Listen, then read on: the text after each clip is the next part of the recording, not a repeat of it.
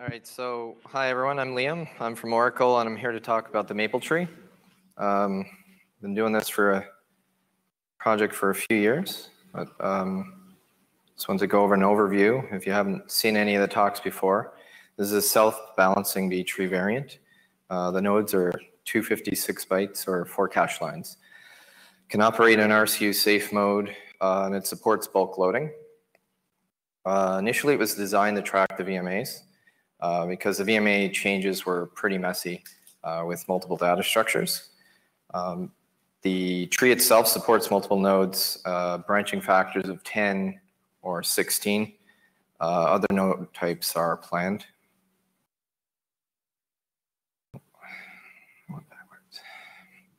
So uh, why use the maple tree? Well, the number one reason is it's easy to use.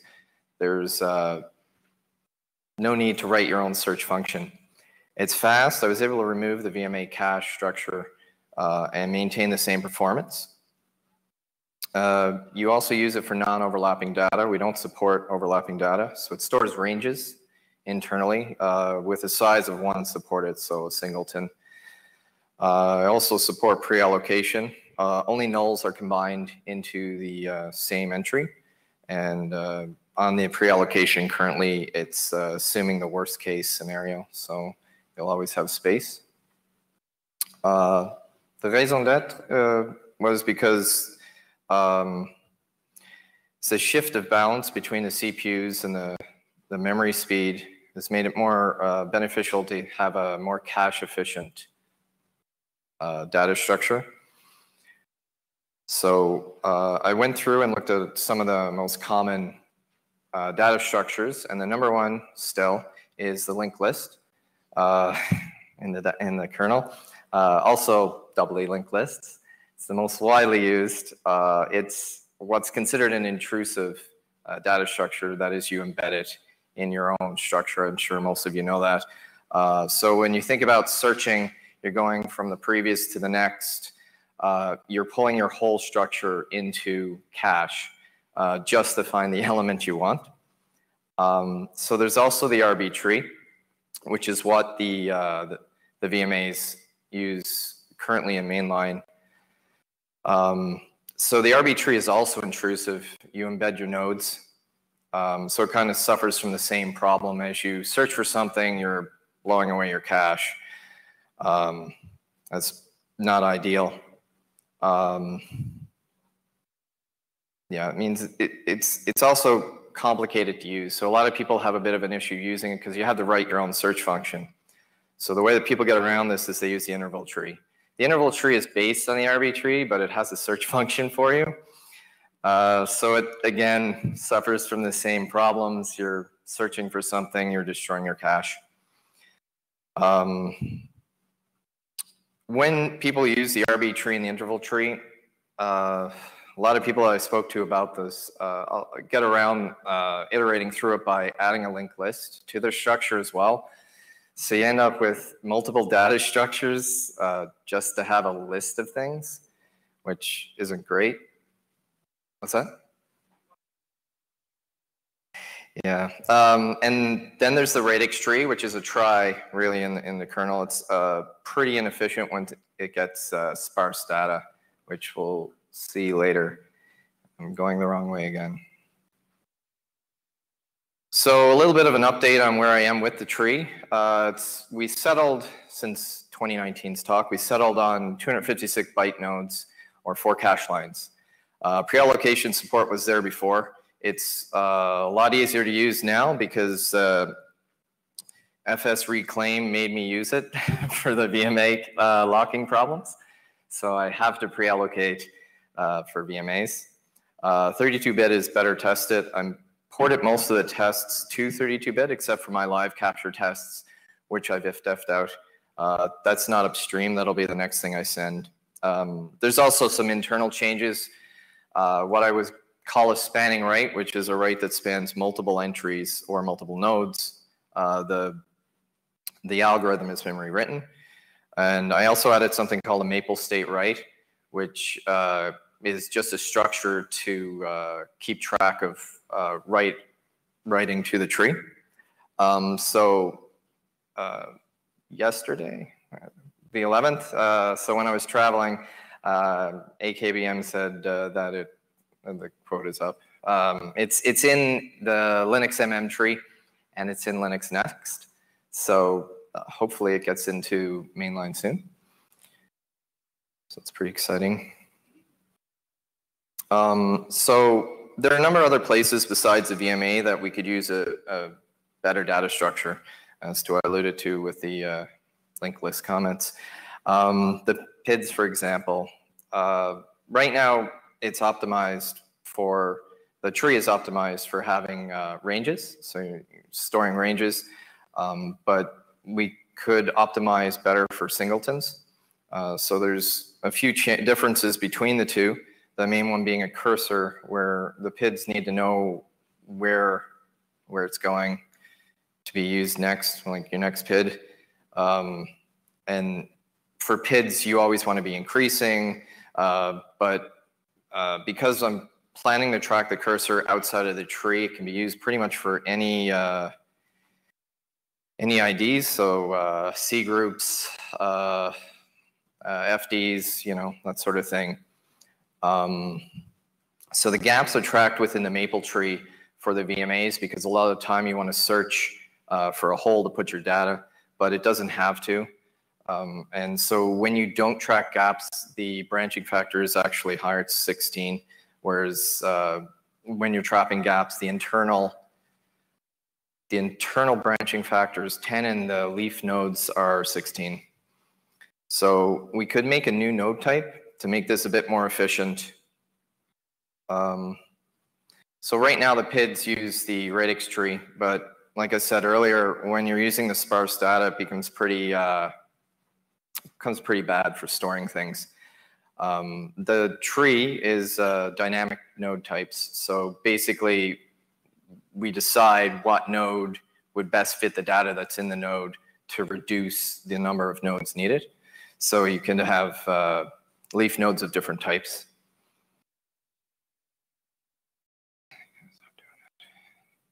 So the idea would be to add something called a sparse node. Uh, sparse nodes are kind of like maps, dictionaries, or associative arrays. Basically, you have a key value pair. Um, if we do this, we can get 15 entries in each node. Undecided if they'll be sorted or not. Uh, so it would become a lot more efficient for singletons in this uh, with this node type for leaf. Uh, so this is actually a real capture from a laptop. Um, it was running for about two weeks. So the PIDs have been run around a few times. Uh, we captured 521 PIDs. And then we pumped them into the, maple, uh, the maple tree and the radix tree. And uh, the results are pretty bad for the, for the radix tree. Uh, over, so there's a lot of nodes um, over 100, 100, what was it? it was like 110, 115 of the radix tree nodes have a single PID in them. So these nodes uh, in the radix tree are 576 bytes. So that's not a very efficient use of space. I think we can do a little bit better than uh, storing one PID. Uh, Uh, comparing that to the maple tree, uh, we get a lot of a, uh, a, lot higher density in our uh, in our nodes, and this is without changing the node types. So that's still with the range node types. So it's worth noting though that because we're constructing this after the fact, uh, the maple tree could either become be more efficient or, or less based because it's a dynamic tree. Uh, the way the radix tree works, it's kind of well, it's no good with sparse data. So another idea was uh, dense nodes, which is basically uh, just a, an array. Um, so we can get 31 entries because we have a parent link in our nodes. But the entries, uh, the location, the index is implied by the parent. So if a node starts at you know 20, then uh, index 0 is 20, 21, etc. Um, so we could get even more dense. Uh, if you look at the distribution of PIDs when you boot your system, Uh, what, I, what I noticed is you'll have a group of about one to 10 that are always there, and then you'll maybe have short-lived boot tasks. Then you'll have another grouping, and then it will be sparse data after that. Uh, once you wrap around, you know, you fill those in, they'll go away, you know, that sort of thing. Yeah. Uh, can I take a mic? Yeah.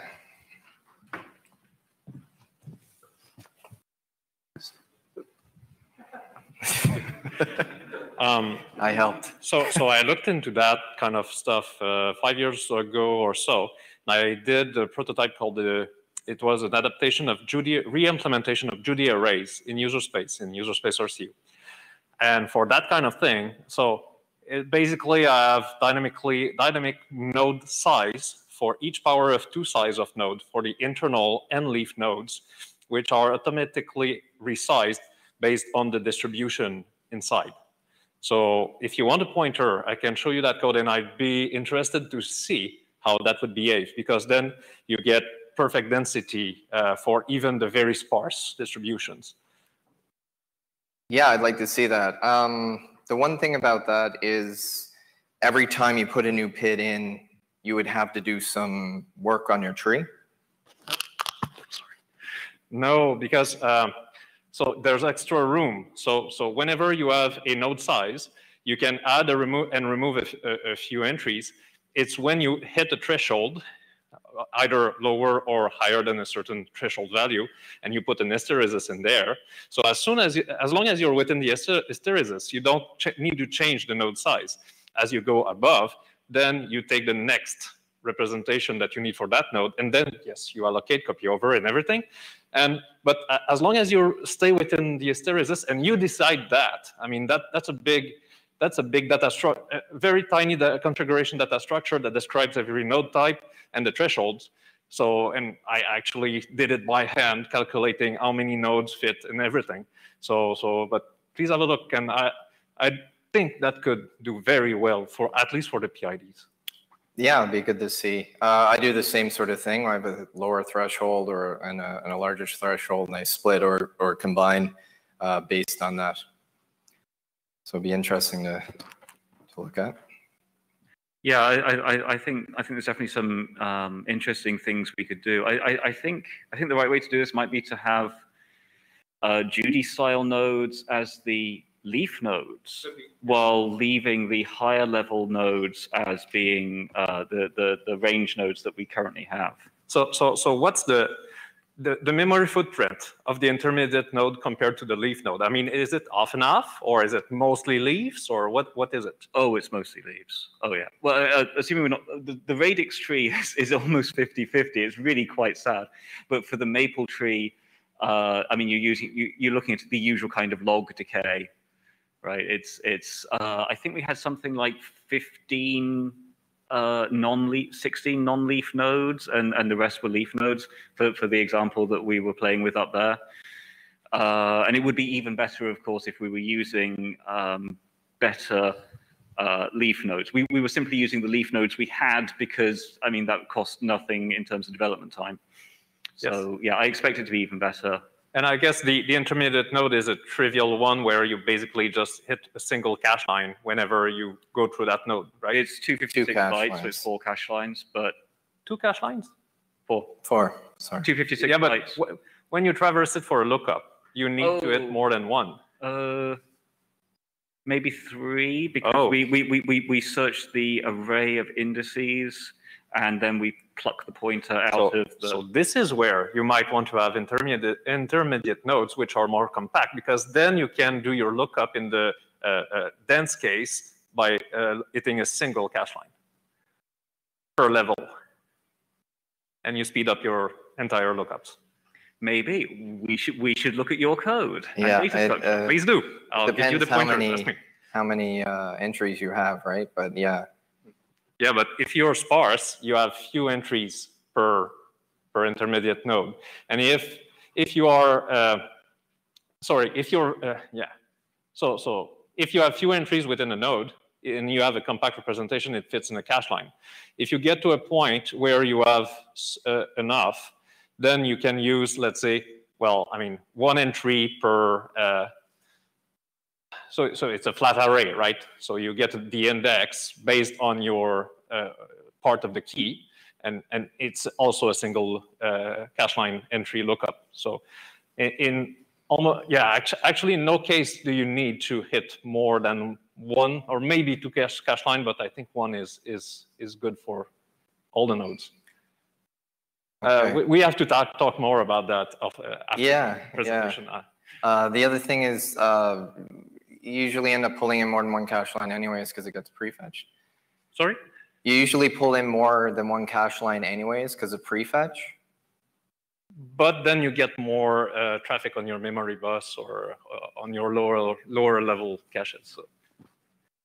What Liam means that the CPU fetches the the second cache line anyway, even if you don't access it. So you might as well access it.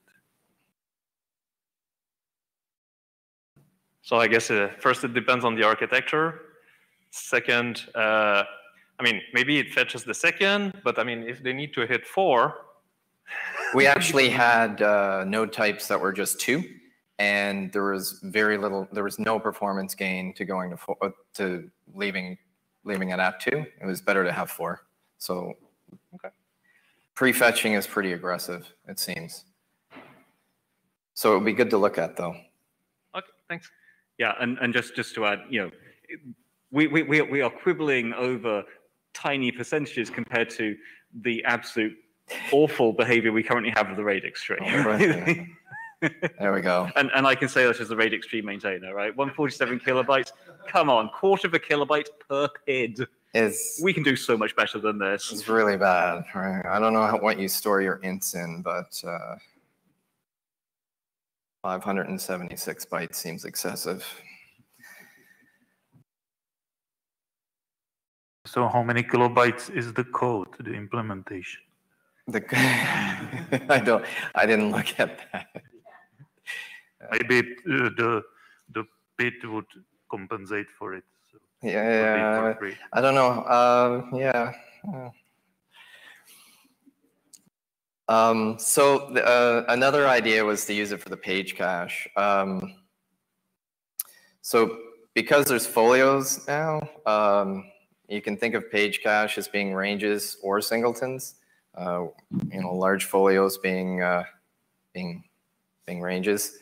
Uh, but we'd have to add uh, search marks. Uh, search marks are pretty, um,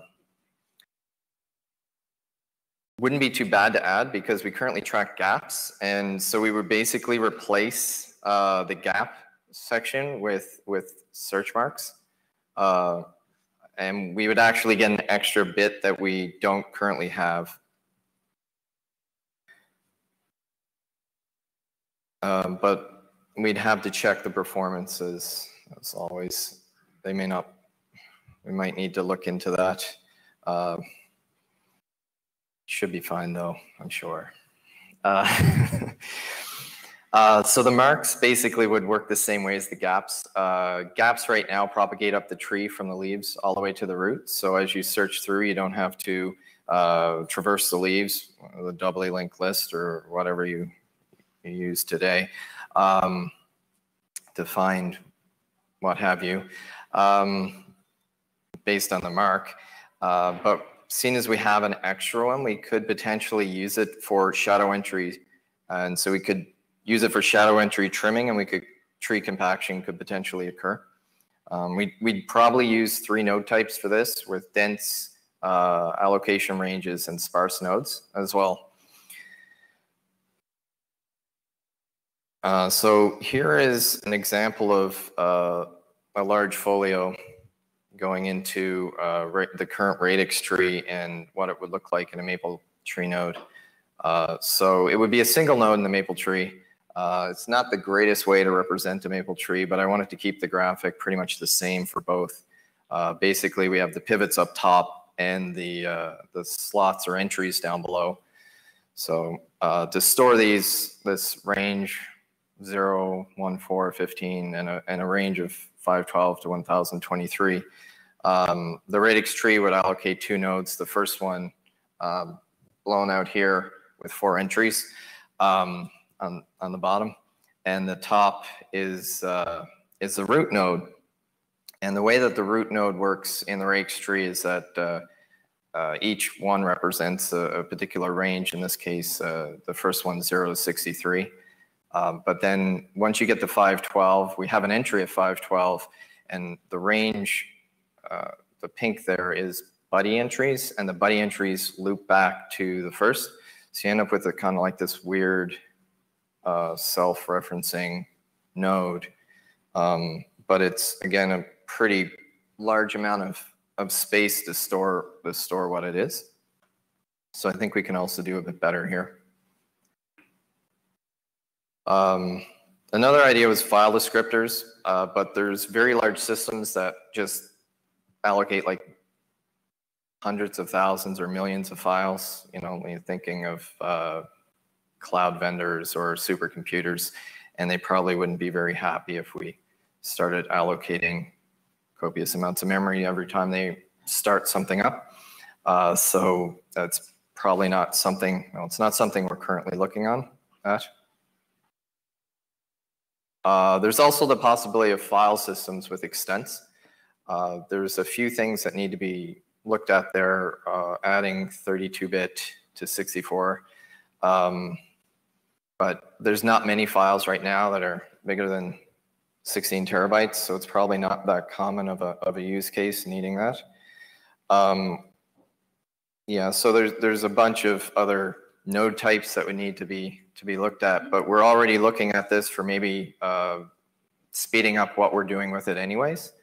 Um, yeah, because we're looking at something called compressing a node, uh, compressing an index. So basically what, what you're looking at is uh, instead of just implying the start of the range from the parent, uh, the parent index, you would say, okay, well, we know this many that this is the starting top bits of the index, and then you would add an offset.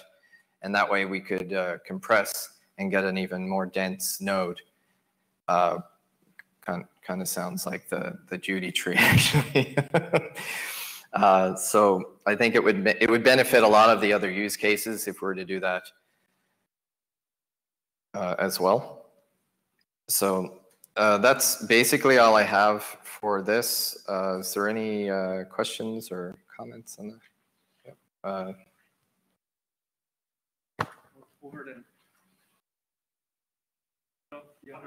oh.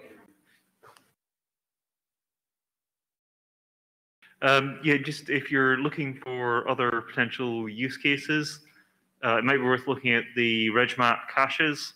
We currently have an RB tree type um, these are uh, relatively small, and this is probably overkill, but you overkilling problems to beat them a lot better than they uh, would otherwise be is kind of RegMap's thing.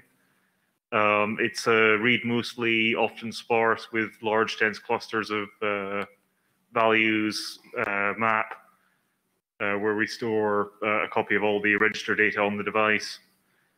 Um, yeah, that sounds like a pretty good fit. Uh, yeah, it, it, it, feels like a good fit, and if uh, like it's probably not worth writing MapleTree for it, but if you've written it, then um, I might get around to looking at it. But yeah, if you're looking for other use cases, that's one to consider, I think. Yeah, that's certainly something we could look at for sure. I often have conversations with people, and they say, "I don't need it. I have this thing that I use," and they start describing, yeah, you know, radix tree, doubly linked list yeah, no, I mean, like, we're just using RB-Tree because it was a thing that existed at the time. Um, so, uh, yeah, it, like I say, it wouldn't be worth writing it for RegMap, but if it's there, it sounds like a good fit, I think, from what I know so far. Yeah, in, in general, a lot of RB-Tree users can be converted to, to use the Maple Tree. The only real exceptions are those which need to have overlapping ranges because we are simply a value to pointer lookup. There's, there's, there's those, oh, we've got these three ranges that overlap this value. We don't support that. That's, that's, that, those people should still use the RB tree, but for, but this should be more efficient for the, the ones that do in fact want value to single pointer lookups. Yeah, so I, I, there's probably a few other places. It's great to hear that some people have uh, uses the same sort of same sort of data sets, right? Um, have you considered a user space implementation of this, or do you know of anyone that has considered user space implementation? Uh, well, I test in user space, so it already compiles and runs in user, user space, the same code. Uh, so yeah, it, it could very easily become a library.